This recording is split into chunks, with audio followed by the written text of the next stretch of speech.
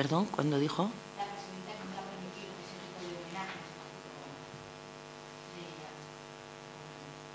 Dijo la presidenta, ¿eh?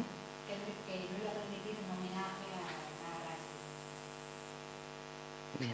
Bueno, sobre el, homenaje que se hiciera ayer a Miquel Castillo, que no sé efectivamente cómo resultó o qué fue del, del, no sé, del evento o de la cuestión que se llevara a cabo ayer, eh, la presidenta entiendo que dijo, no sé muy bien a qué, a qué cita, a qué declaraciones o a qué momento se está refiriendo, pero entiendo que dijo lo mismo que, acostumbramos a decir siempre, y es que desde el Gobierno de Navarra, ante la comisión de hipotéticos delitos, se actúa. ¿Mm? Entiendo que va por esa línea. ¿Eh? Pasa lo mismo con las cuestiones que se nos han referido al hilo de lo que ocurriera en Leiza y con otras cuestiones. Actúa. Eh, el homenaje de ayer ya se comentó la semana pasada y creo que la propia presidenta tuvo ocasión de, referirse a él. Eh, es el mismo que entendemos se viene realizando en el mismo lugar y llamado seguramente y celebrado o llevado a cabo por la misma gente que se viene haciendo durante décadas en Pamplona, si no me equivoco, es al que se refiere usted en la calle del Carmen, décadas se lleva haciendo.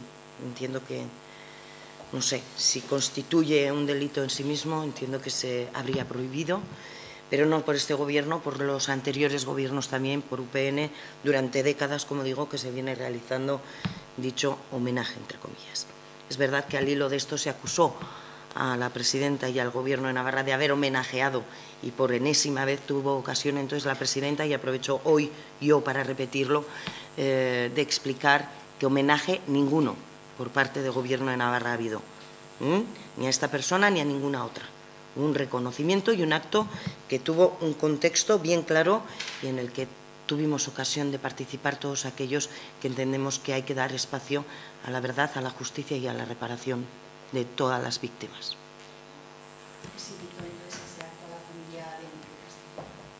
Un acto que no era un acto de homenaje, era un acto de reconocimiento, verdad, justicia y reparación, repito, por eso. Pero claro, si nos empeñamos en hablar de homenajes, era distinta cosa, eran distintos actos, entonces hablamos